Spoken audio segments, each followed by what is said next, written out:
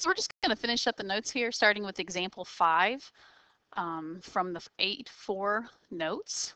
It says when asked to solve a right triangle, it means to find the lengths are the measures of all the angles and the measures of all three sides. So that's what it means when it says solve a right triangle. Example 5 says solve the right triangle. Round side measures to the nearest tenth and angle measures to the nearest degree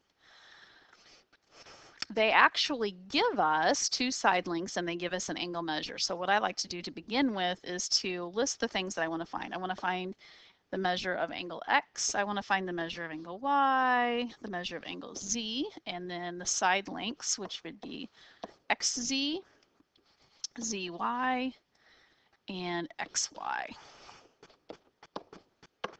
Any measurements that I'm already given, I'm going to go ahead and fill those in typically they give you three to begin with. So I know, I don't know x, the measure of angle x, I don't know the measure of angle y, but I do know the measure of angle z is 90 degrees. The length of xz is 5, and the length of zy is 9. And that leaves me with the measure of angle x, the measure of angle y, and the length of xy. To find xy, that should be pretty easy because I have a right triangle and I already have the lengths of two sides. So I can just use Pythagorean theorem to find the length of xy.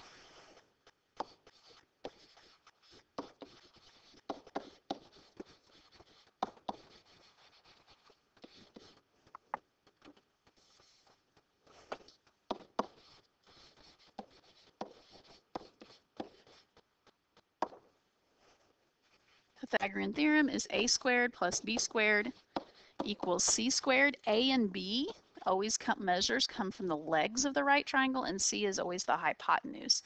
So in this case, the legs are 5 and 9. So I would use 5 squared plus 9 squared is equal to c squared. That's 45 plus 8, not 45, sorry, 25 plus 81 is equal to c squared. That's 106 is equal to c squared. And then you want to take the square root of both sides. It's said to give the measures of the sides to the nearest tenth. So that's what I'm going to do. I use my calculator and find the square root of 106. And I get that C which is my hypotenuse, is approximately 10.3.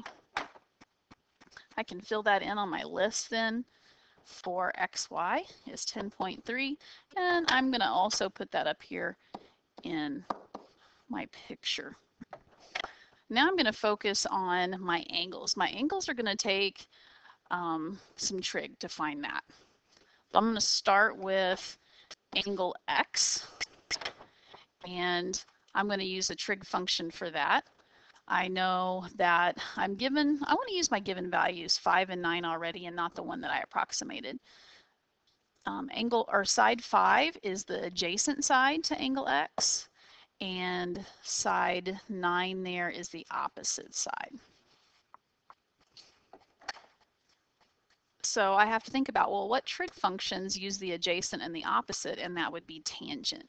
So tangent is the opposite over adjacent.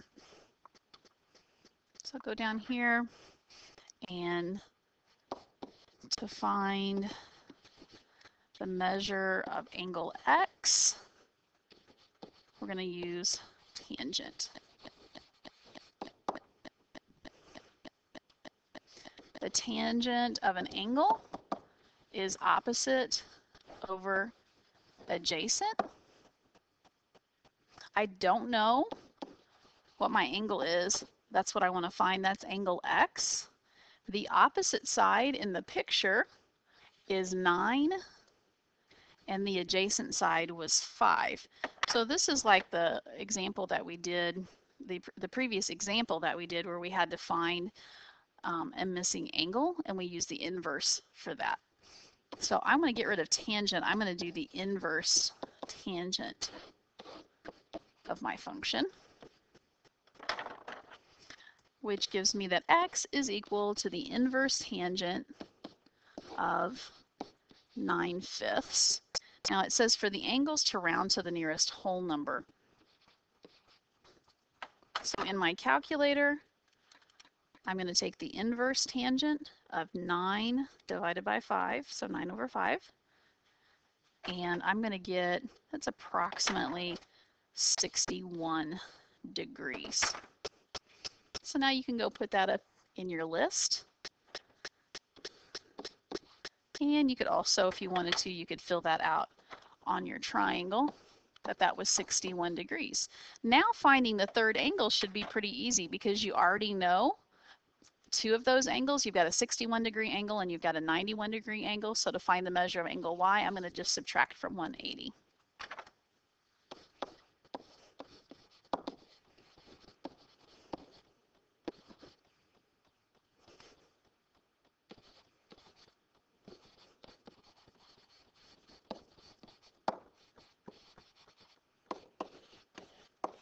So the measure of angle y is going to be equal to 180 minus the sum of the other two. So we had a 90 degree angle, we had a 61 degree angle.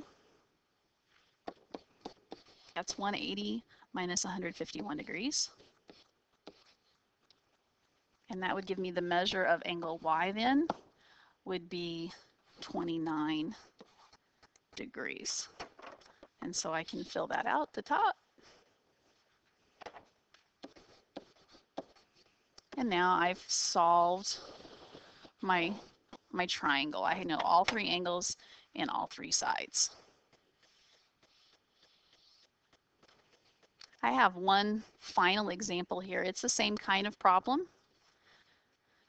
And I want to um, solve that triangle. So I want to find all the angles and all the sides. I'm going to start by doing the same thing I did on the last problem and list the things I want to find. I have got measure of angle A, measure of angle B, measure of angle C, and then my sides. I've got side AB, I've got side BC, and side AC that I need to find.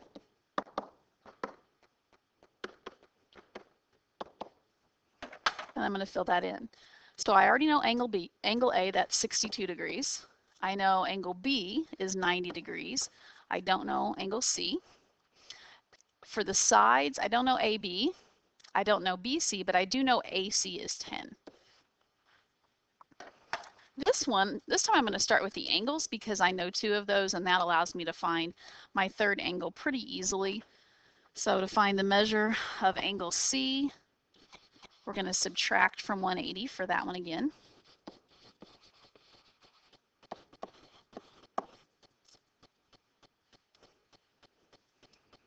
So the measure of angle C is equal to 180 minus the other two. Well, I had a 90 degree angle and I have a 62 degree angle. That's going to be 180 minus 152 degrees, which gives me a measure of angle C is 28 degrees. And we can put that in our, our list. And you can put it in your triangle if you want.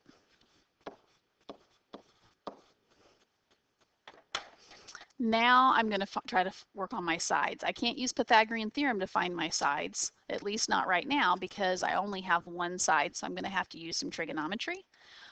Let's use the angle that they gave us instead of the one that we found, just in case we made an error. So I'm going to use this um, 62 degree, and then I know that 10 is the hypotenuse, and I'm just going to pick a side to find. Let's say I want to pick, um, find side AB. I'll put a little X there and AB is my adjacent side. And then I have to think, well, okay, what um, trig function uses adjacent and hypotenuse? And that's cosine. To find side AB, use cosine. So cosine of an angle is adjacent over hypotenuse. Well, the angle we have is 62, so I'm going to put that in there. cosine of 62 degrees is equal to the adjacent side. That's going to be my x, and the hypotenuse is 10. And then I want to solve for x. So I'm going to do a little algebra. Multiply both sides by 10. That gives me that x is equal to 10 times the cosine of 62. And now I can put it in my calculator just as is. So as is, I want to put 10 times the cosine of 62 and round to the nearest tenths for the lengths of the sides, which is approximately 4.7. So side AB would be 4.7. I can put that in there.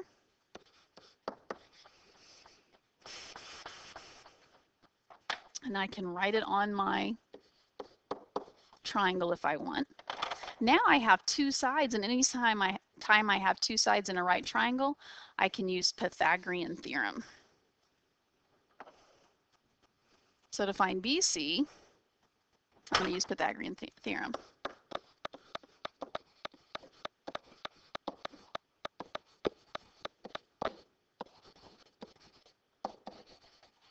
Which is, of course, a squared plus b squared equals c squared. In the triangle, I have the hypotenuse and I have one of the legs, which is now 4.7. So I'm going to say A is going to be my 4.7.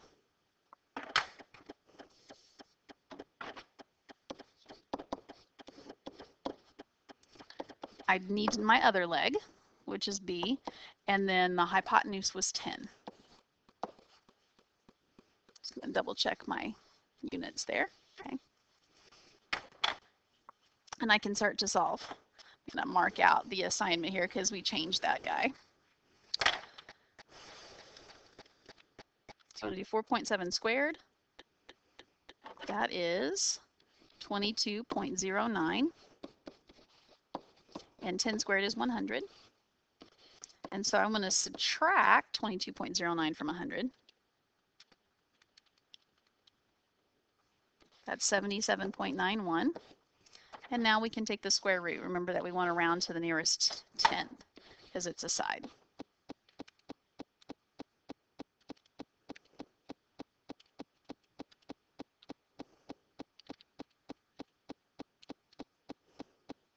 And that is approximately 8.8. .8.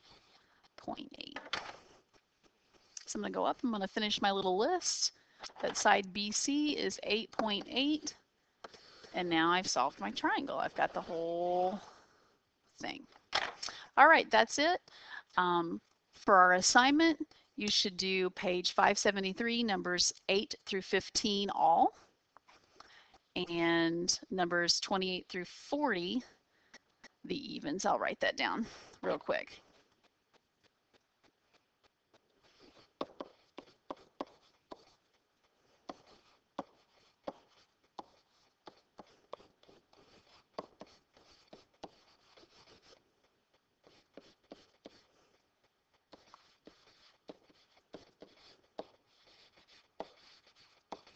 All right. Have a nice evening, and I will see you tomorrow.